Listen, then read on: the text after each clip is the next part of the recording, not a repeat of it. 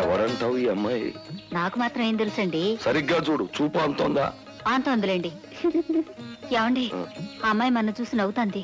ఇప్పుడు మనం ఏం చేయాలి? మనం నవ్వేద్దాం నవ్వు.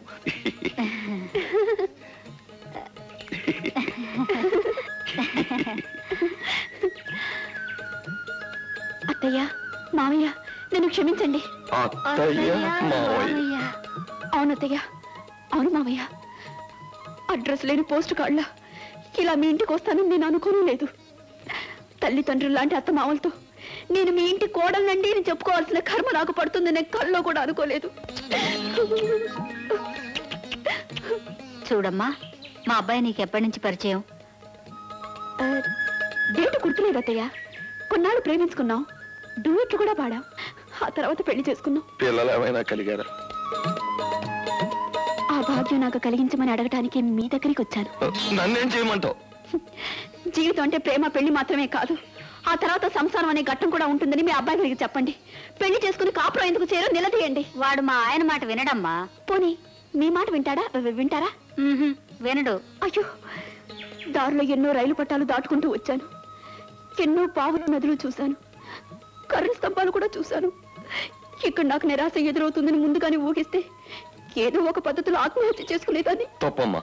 అలా ఆలోచించకమ్మా. చూడమ్మా మేమిద్దరం బ్రతికుండగా నీకు ఏ లోటు రాదు. నువ్వు లోపలికి వెళ్ళి విశ్రాంతి తీసుకో. అలాగే మామయ్య.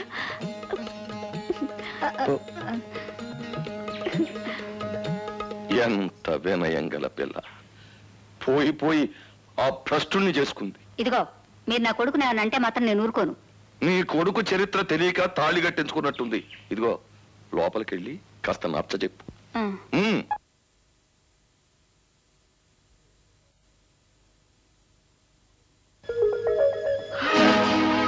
రాణి!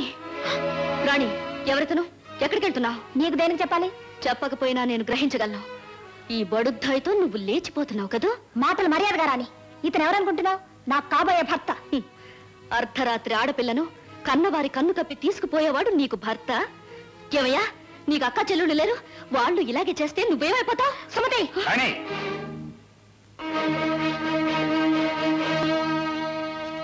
నువ్వు తప్పు చేసి పైగా వదిలి మీద చేస్తావా నేను ప్రేమించిన మనిషిని అలా అంటే ఇంకేం చేయాలి? ఎవరిని నువ్వు ప్రేమిస్తున్నది? నన్ను చూడగానే జారుకున్న చవటనా? వాడు మంచివాడు సదుద్దేశంతో నువ్వు ప్రేమించిన వాడైతే అలా భయపడి పారిపోతాడా? మీ నాన్నగారు నీకిచ్చిన స్వాతంత్ర్యానికి నువ్వు తిరిగిచ్చే బహుమతి ఇదేనా? ఏ ఇంటి నుండి నువ్వు కన్నీటితో వీడుకోలు పుచ్చుకుని వెళ్ళాలో ఆ ఇంటి నుండి దొంగతనంగా వెళ్ళిపోతున్నావా? ఏ? దొంగచాటుగా వెళ్ళిపోతే ప్రళయమేమి రాదు. నేను నీలాగా మూర్ఖురాల్ని చదువురాంతాన్ని కాదు. నా ఇష్టాలు వేరు. ఐఎమ్ ఏ మోడర్న్ గర్ల్ ఇలా లేచిపోయి సడన్గా పెళ్ళి చేసుకోవడంలో ఉంది థ్రిల్ మామయ్య గారు మీరు ఊరుకోండి. నువ్వు అడ్డాకమ్మా బరి తెగించిన ఆడది పశువుతో సమానం. ఇది మాటలు చెబితే విందు. దెబ్బలు తగిలితే గానీ దానికి రాదు. దీన్ని ఊరుకోండి మామయ్య గారు. మీ కాళ్ళు పట్టుకుంటాను. ప్రాణాలు విడిచిపెట్టండి. నువ్వు లోపల.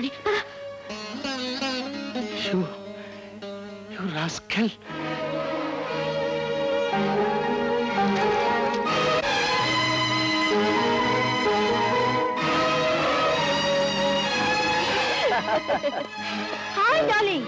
నువ్వు ఊర్లోనే ఉన్నావా? డాడీ ఏమిటి వాళ్ళని తెల్లిగా లేచారు? నిద్రపోతే కదరా లేవటానికి.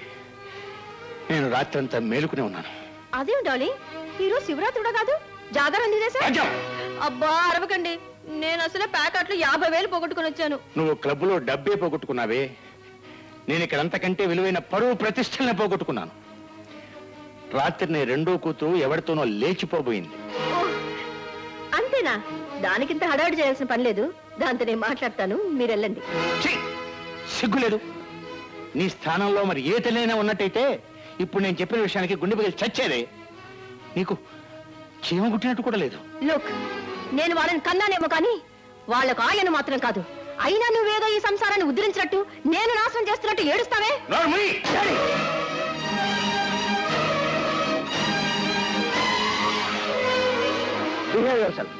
మమ్మీ మీద చేయెత్తితే నా చెయ్యి మీ మీద పడుతుంది.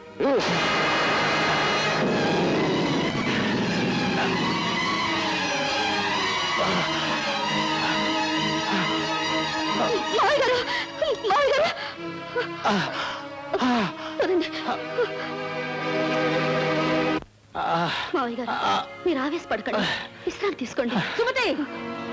ఇన్నాళ్ళు ఆయనకు పరిచయం చేస్తున్నాం అనుకున్నాను. ఈ సేవలు ఎప్పటి నుంచి మొదలు పెట్టావు ఆయన భార్యను నేను ఇంకా బ్రతిగా ఉన్నాను. పో బయటికి. కోడలు మావు మంచం మీద కూర్చుంటే లోకం ఏమనుకుంటుంది? దానికి లేకపోయినా కనీసం మీకే బుద్ధుండదు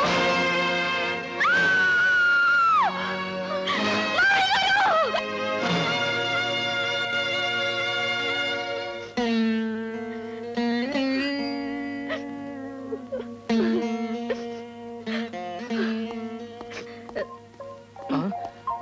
లాయర్ గారు. రండి. హలో మోహన్. మీకోసం చూస్తున్నాం. కూర్చోండి. Thank you. ఆస్తి వివరాలు మీకు చెప్పిపోదామని వచ్చాను. చెప్పేదే ఉందిలేండి. అంతా నా పేరున రాసుంటారు. అంతేగా? లేదు. ఆస్తి అంతా మీ కోడలు సుమతి గారి పేరు రాశారు.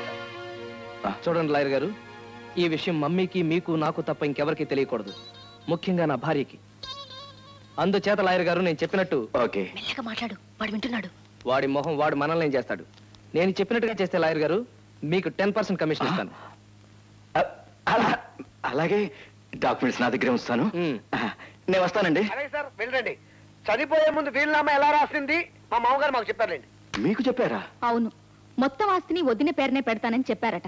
అయితే ఆస్తి అంతా ఆవిడ పేరే. అబ్బా! ఏమిటయ్యా ఈ కాలు దొక్కుతాం నువ్వని ఊరుకున్నాను. లేకపోతే కోర్టుకిచ్చి కాంపెన్సేషన్ లాగేవాడిని సరే మీ కోర్టు టైం అయింది కదా మీరు బయలుదేరండి. మరి మేము వస్తాం అత్తగారు. తప్పు నాయనా. కర్మ జరుగుతున్న ఇంటికొచ్చి వస్తాం అనకూడదు. వెళ్తాం అనాలి. అలాగే అత్తగారు. ఆస్తి లావాదేవీలు తేలేటప్పుడు వస్తాం ఇప్పుడు వెళ్తాం. మమ్మీ ఆస్తి దాని పేరు రాసినట్టుగా సుమతికి తెలియనివ్వకు. అలాగే.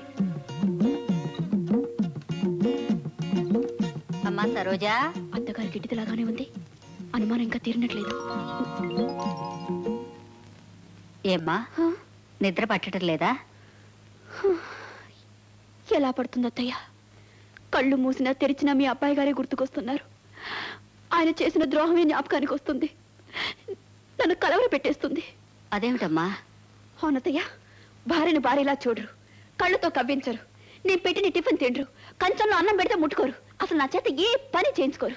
పోనీ మంచం దగ్గరైనా మంచిగా ఉంటాడమ్మా? అయ్యో పిచ్చత్తయ్యా. మంచం దాకా వస్తే నేను కంచాల కథ ఎందుకు చెప్తాను చెప్పు. అదంతా వాడి కర్మమ్మా. ఒకప్పుడు తల్లిదండ్రుల్ని తోబుట్టుని ఇప్పుడు ఇల్లాల్ని వదులుకుని ప్రజల కోసమే పాటుపడుతున్నాడు. మరి నాకు మోక్షమే లేదా అత్తయ్య? ఉందమ్మా. మన పురాణాలే మనకు శ్రీరామ రక్ష. మహర్షులు మోక్షం కోసం తపస్సు చేస్తే మా పార్థసారథి సమాజ శ్రేయస్సే ఒక తపస్సుగా భావిస్తున్నాడు. అర్థమైంది అత్తయ్య. మహర్షుల తపస్సుని దేవకన్యలు భంగం చేసినట్టుగా మీ అబ్బాయి తపస్సుని భంగం చేస్తాను.